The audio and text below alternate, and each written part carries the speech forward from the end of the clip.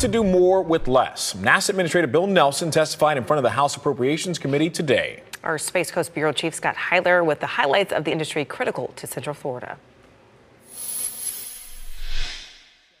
NASA Administrator Bill Nelson making his 2025 budget pitch on Capitol Hill Wednesday $25.4 billion.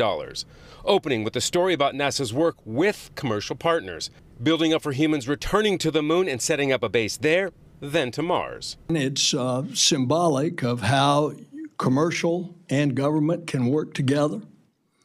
It's a part of what we're doing. We're going back to the moon, this time with commercial partners. Administrator Nelson expanded his pitch beyond space exploration, drilling down to what NASA's work does here on Earth.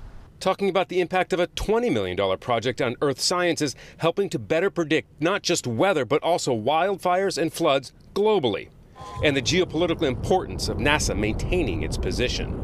We're not going to lose that global edge. Uh, but you got to be realistic that China is really throwing a lot of money at it, and they've got a lot of room in their budget to grow.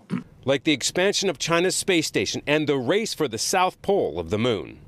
I would hope that China, the Chinese space program, would come to its senses and understand that civilian space is for peaceful uses but we have not seen that demonstrated by China.